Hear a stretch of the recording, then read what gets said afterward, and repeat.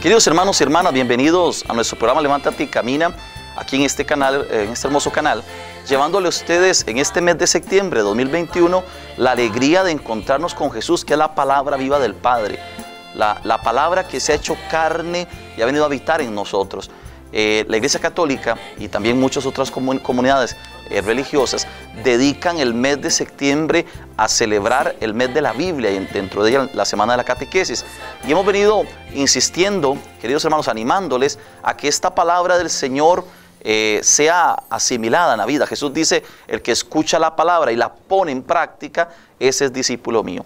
Y entonces que esta palabra del Señor día a día vaya tomando posesión de nuestras casas, de nuestras familias, de nuestros hogares, que se haga para nosotros todos los cristianos una realidad de que esta palabra habite en nosotros, ¿verdad? Y, es importante porque toda nuestra fe está en torno a la escritura, a la palabra. Por eso eh, vamos a concluir este mes de, de la Biblia, este mes de septiembre, agradeciendo al Señor todo lo que nos regala en Costa Rica en esos 200 años de vida independiente y agradeciendo al Señor todo lo que, lo, que nos ha regalado a nuestros, a nuestros ciudadanos, pidiéndole por todos los grandes retos y desafíos que Costa Rica tiene en la hora presente y que la palabra del Señor, que es la voz de Dios, nos sostenga, nos, nos dé fuerza y nos ilumine el camino. Con este hermoso canto, eh, pidámosle al Señor que esta palabra del Señor nos dé vida y habite en nosotros. Tu palabra me da vida, confío en ti, Señor. Tu palabra es eterna, en ella esperaré.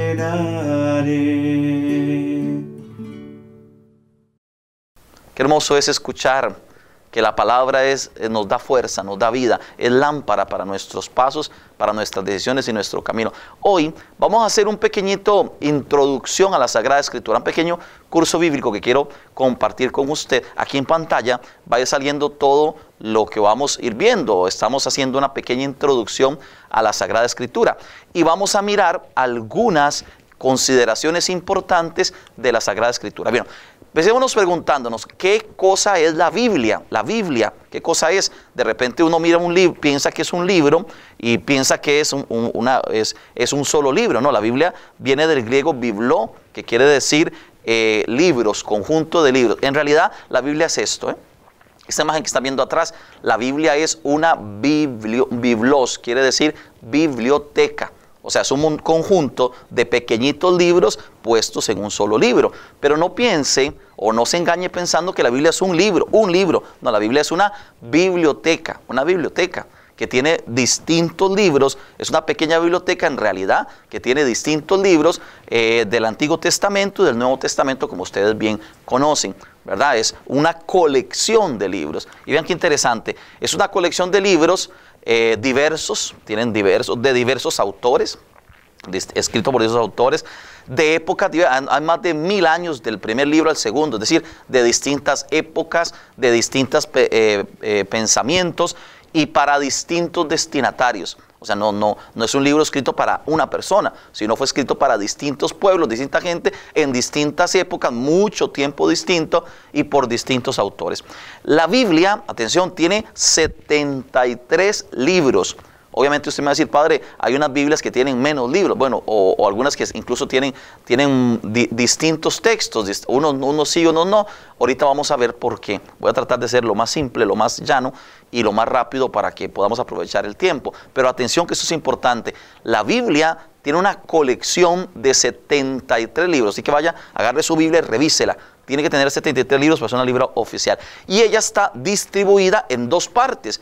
Eh, definidas por una palabra, una palabra que viene del griego didate que, didate que, quiere decir con, eh, testamento. Aquí lo estamos explicando. Vea qué interesante. Hay un primer testamento, que es el Antiguo Testamento, y hay un Nuevo Testamento, que es la segunda parte de la Escritura. ¿Qué quiere decir testamento? Disposición o alianza. Viene del griego, porque esos textos fueron escritos el, todo el Antiguo Testamento en hebreo y todo el Nuevo Testamento en griego. Eso es muy importante. Entonces tenemos como dos partes que están complementadas, ¿verdad? Que esto es muy importante. La Iglesia Católica, en toda su enseñanza, en toda su, su teología, mira la compenetración del Antiguo Testamento con el Nuevo Testamento. De alguna manera, todo el Antiguo Testamento es promesas, profecía, y el Nuevo Testamento es cumplimiento. Todo eso que Dios nos dijo, lo fue haciendo, lo fue cumpliendo. En el Antiguo Testamento, Hemos dicho, es una biblioteca, no es un libro, sino que es una colección de libros. Hay libros divididos en distintas fases. Tenemos el Pentateuco, que son los libros de la ley, los cinco primeros libros de la escritura, el Génesis, etc. Los libros históricos, los libros proféticos, los libros poéticos y sapienciales. Muy importante, son 46 libros el Antiguo Testamento y el corazón, si queremos hacer un resumen amplio, general, así, un chispazo, ¿no? Del Antiguo Testamento, hay que decir que está centrado en una alianza, en la antigua alianza que Dios hizo con su pueblo Israel. Recuerdan, ahí está en el dibujo, ¿no? La escena de Abraham y el sacrificio de Isaac. Dios hace alianza con su pueblo. La, la escena, Dios le da a Moisés las tablas de la ley, ¿verdad? El santo, el arca, el arca santa, el arca de la alianza. Y, esa es la alianza con su pueblo y Dios renueva su alianza constantemente. El Antiguo Testamento está centrado en esa alianza que Dios hace con su pueblo. Nos damos cuenta de una cosa, Dios es siempre fiel. A nosotros nos cuesta ser fieles. Dios es siempre, siempre ama a su pueblo. El pueblo siempre le da la espalda al Señor. Esa es la historia del Antiguo Testamento. Y Dios siempre busca ah, la felicidad de su pueblo, acompañar a su pueblo, sacar a su pueblo del mal, del pecado. E- Esa, es la salvación que llega en el Nuevo Testamento. Hemos dicho entonces, ¿verdad? El Nuevo Testamento tendría 27 libros. Ah, Saque la matemática, saque la calculadora, si ya se lo olvidó calcular, o use el celular. Entonces ya son 27 libros, tenemos 73 libros, complejo todo el- la Biblia. 27 libros que están distribuidos en distintas etapas. Los evangelios, como ustedes son cuatro, tenemos los evangelios sinópticos, que son Mateo, Marcos y Lucas, que son, sinóptico quiere decir que tienen una cierta similitud y fueron hechos bajo una cierta estructura similar. Y el Evangelio de San Juan, cuatro evangelios, tenemos los hechos de los apóstoles, las cartas apostólicas, las de Paulo, las, las cartas hebreas y las cartas católicas y el libro del Apocalipsis, del Apocalipsis. Eso es la pequeña biblioteca que es la Biblia. Usted la anda en un- usted y yo la tenemos en un libro, parece un solo libro, pero en realidad es una colección de distintos libros. El corazón del Nuevo Testamento es la nueva alianza, que es un pacto, una alianza nueva entre Jesús y su iglesia. ¿verdad? Antes era con Israel, la antigua alianza, la nueva alianza es con la iglesia, es decir, con los hombres y mujeres, no solo de un pueblo, sino de todos los pueblos de la tierra. Católico quiere decir todos los pueblos, llegar a todos los pueblos de la tierra.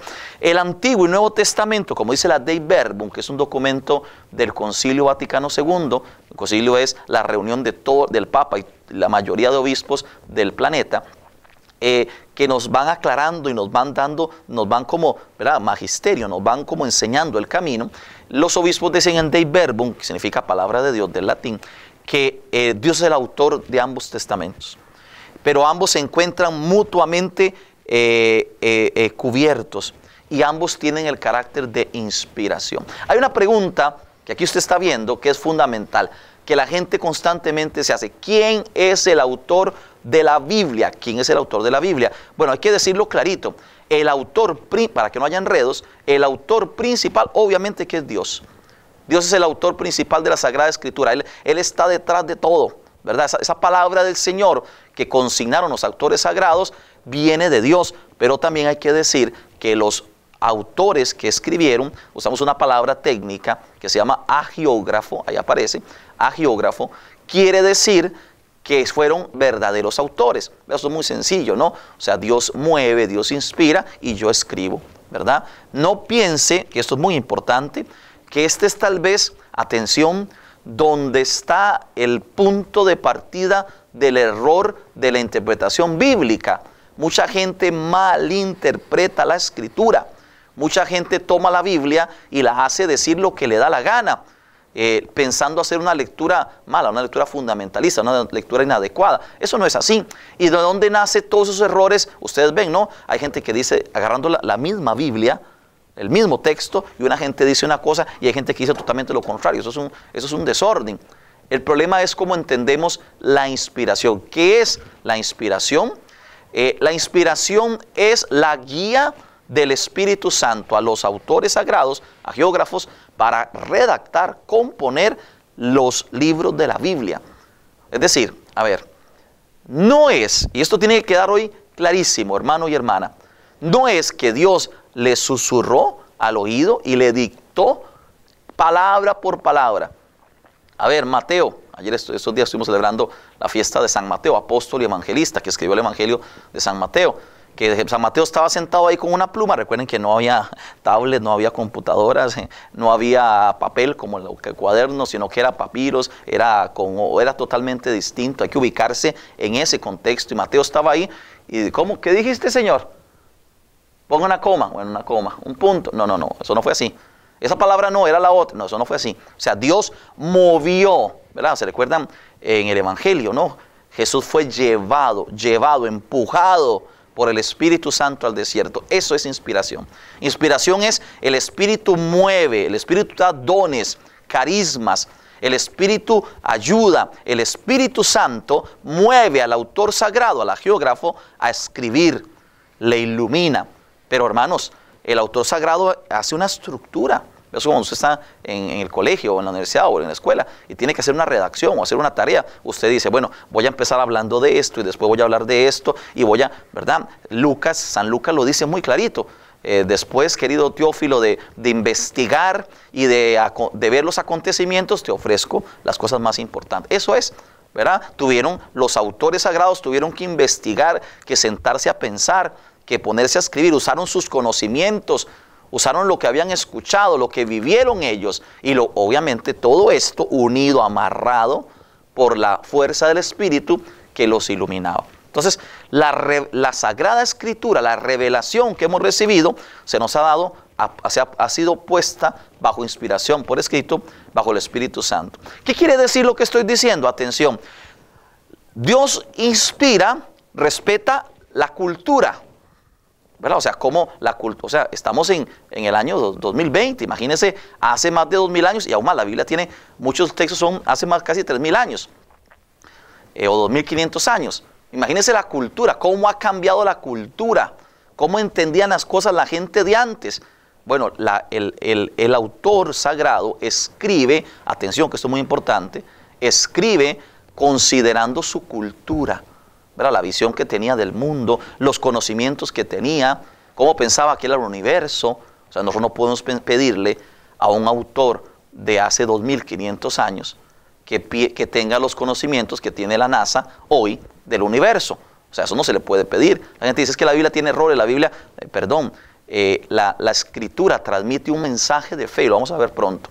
Es que importante, la lengua, o sea, estos textos no se impresionen, no fueron escritos en español, no existía el español, no existía el español, ¿eh?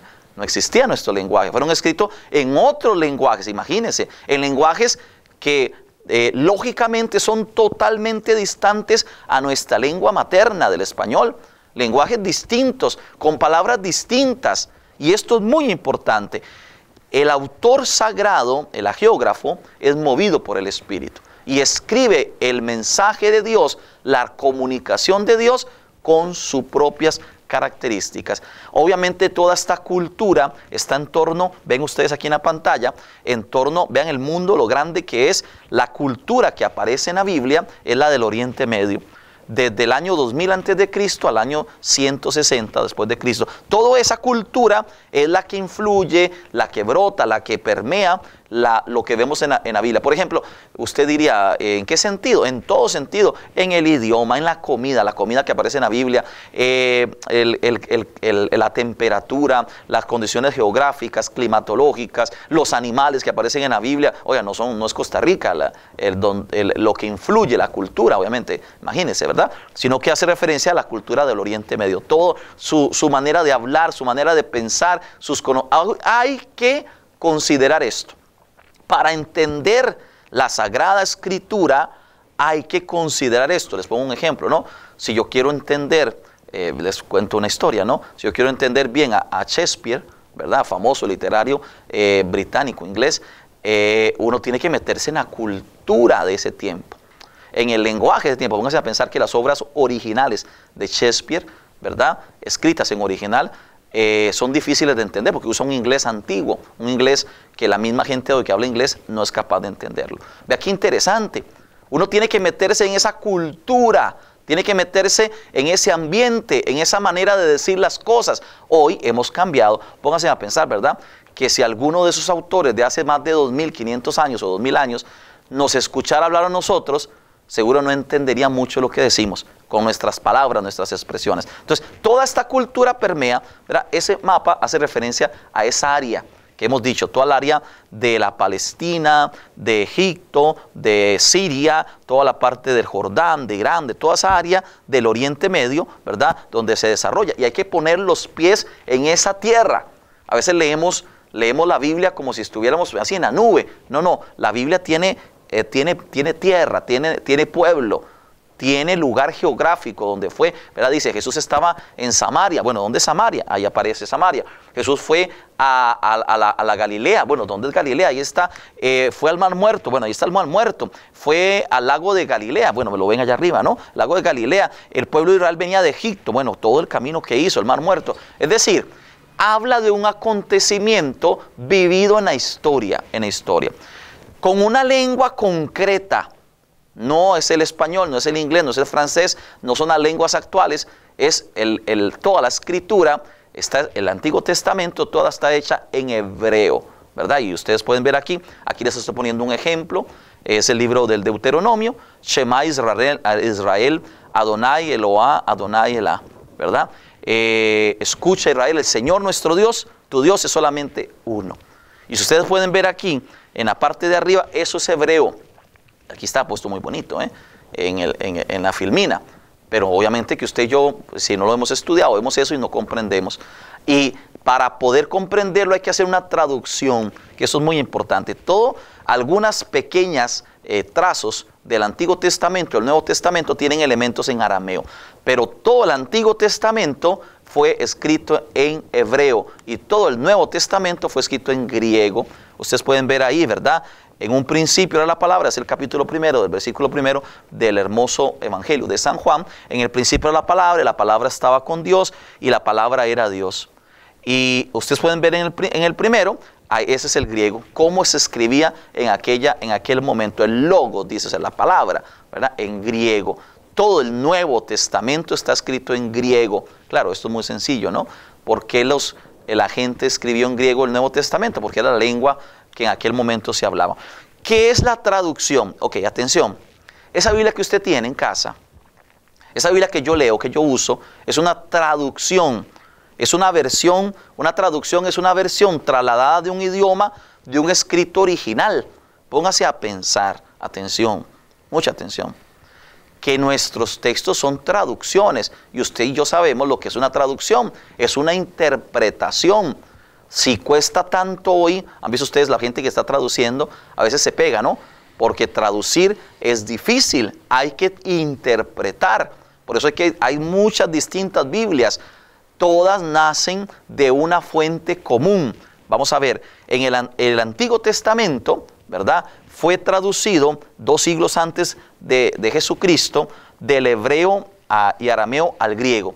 Los judíos lejanos, atención a esto es importante, que no estaban en Jerusalén ya no sabían hablar hebreo, hablaban griego, que era la lengua de toda aquella región, porque Grecia había, había con Alejandro Magno, había eh, obviamente eh, conquistado toda esta región. Y la gente hablaba griego, la gente del pueblo, la gente hablaba el idioma normal de su comunidad y el griego era la lengua, la lengua cultural. Entonces es muy importante.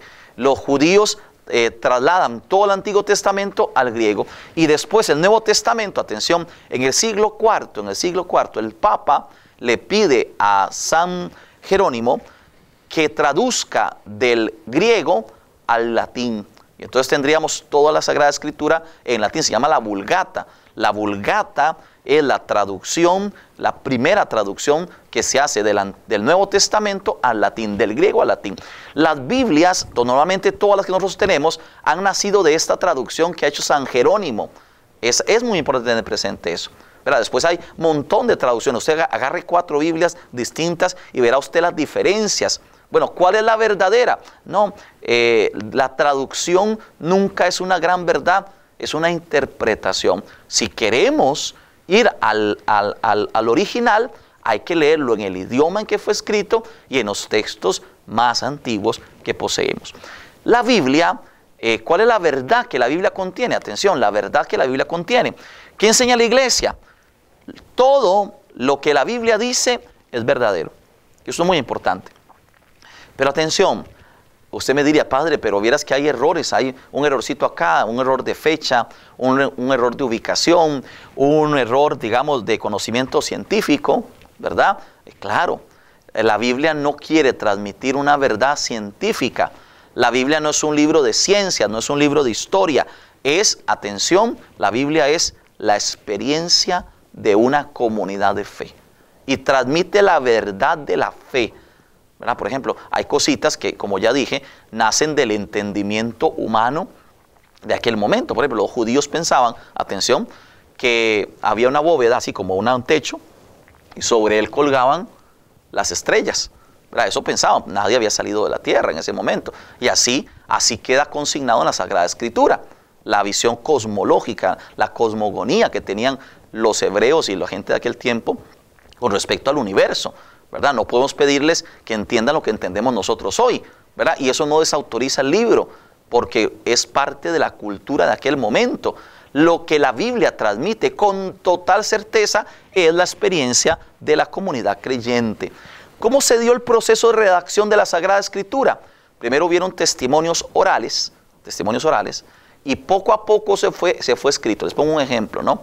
Uno viene en la carretera y hay un accidente. Bueno, entonces el accidente es el acontecimiento, igual en la Biblia, hay un acontecimiento.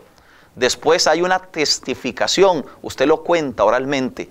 ¿verdad? Por muchos años las cosas escritas en la Biblia se decían. Tengan en cuenta que la gente en su mayoría no sabía en aquel tiempo ni leer ni escribir.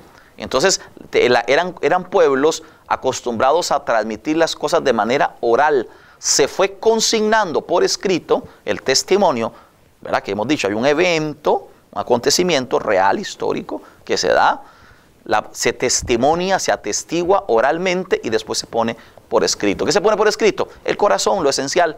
Más que pónganse, a pensar que no había mucho papel como nosotros, no había muchas opciones de escribir y después no toda la gente podía leer. Entonces él- se prefería transmitirlo. Eso es lo que llamamos tradición. Se transmite a todos. En la formación del Nuevo Testamento, el Nuevo Testamento tiene el corazón a la persona de Jesús. Jesús es la plenitud de la revelación. Todo lo que dice el Antiguo Testamento cobra sentido en Jesús de Nazaret. Todo, hermanos.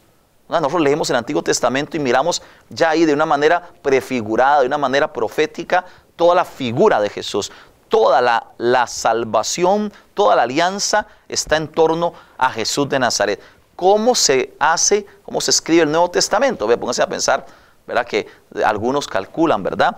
Que, que, eh, que- la tradición fue consignando, la tradición eclesial quiere decir esta fe que se iba transmitiendo de manera oral y que los apóstoles y los predicadores y los discípulos, los primeros de Jesús, eh, la iglesia, los primeros siglos, iba transmitiendo esta fe, después fue quedando ahí por escrita con sucesores que son los obispos y aparecen los nuevos, los primeros textos. Ustedes saben que San Pablo es el primero que escribe en los años 50, 60, la primera segunda a, la carta a los tesalonicenses, la, la carta a los filipenses, la carta a los romanos, a los gálatas, la, por ejemplo, la carta a los colosenses, a los efesios, a, las cartas pastorales de Timoteo y Tito, la carta a los hebreos en el año 70, la redacción definitiva de los evangelios entre el año 65 y el 80. A ver, nadie crea, atención, que es que andaba alguien grabando con el celular lo que Jesús decía, o que andaba alguien escribiendo lo que Jesús decía. No, no. O sea, se escribieron, por ejemplo, lo que Jesús dijo y hizo 30 años después, en el Evangelio de San Marcos, eh, 40 años, 50 años después, 60 años después, en el Evangelio de San, de San Juan. Es decir, mucho tiempo después. No eran pueblos como nosotros que escribían todo, lo decían. Había una gran tradición oral. Se transmitía de boca en boca. Y esto es fundamental. Y así otros escritos que se fueron desarrollando a finales del siglo I. Por ejemplo, la, la- carta de Santiago, de Judas, primera segunda de Pedro, primera, segunda y tercera de San Juan, los, algunos evangelios como el Evangelio de San Juan, las cartas juánicas y el Apocalipsis. Todas al final del siglo I, después del año 90, 95, ya al final del siglo I. Es decir, eh, se fueron desencadenando todos los textos y se escribió lo esencial. San, Lucas dice, si hubiéramos escrito todo, no cabrían las bibliotecas del mundo para tenerlo. No, lo esencial. La Biblia dice lo esencial, no lo dice todo, dice lo esencial. Y esto es fundamental.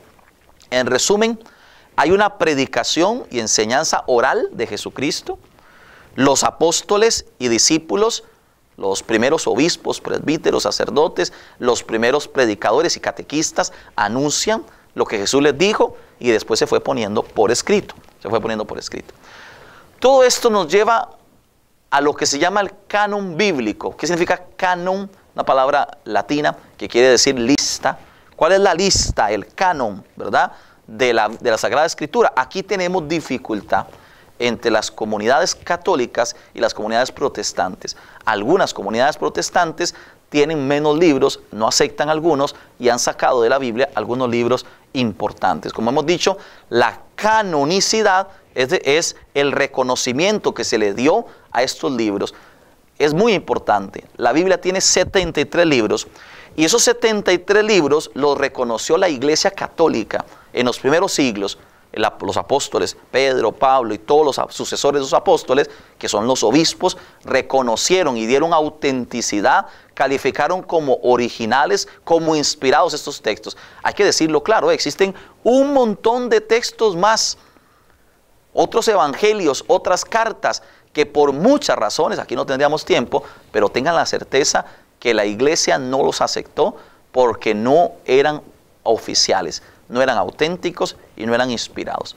Evangelios que, que algunos, algunos han visto en la televisión o, o alguna reflexión por YouTube, lo que sea, lo que digan, alguna gente que la iglesia católica no acepta estos libros porque le da miedo. No, no, no, eso no es cierto no acepta los libros, algunos libros, evangelios y otras, otros documentos, porque ya son fuera del canon, es decir, fuera de la lista oficial, porque se dieron, por ejemplo, en el siglo IV, en el siglo V, cuando ya el canon estaba ya cerrado. Obviamente, ¿no? Imagínense, ¿verdad? Que alguien diga que este hijo es hijo de fulano y esa persona ya estaba muerta, eso no tendría sentido. Lo mismo que pasa con el canon.